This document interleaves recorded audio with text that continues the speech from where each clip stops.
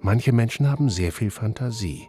Man erzählt ihnen etwas und in ihrem Kopf läuft die gesamte Szene ab und vielleicht noch viel mehr drumherum. Sie malen es aus und haben richtiges Kopfkino. Kopfkino. Kopfkino.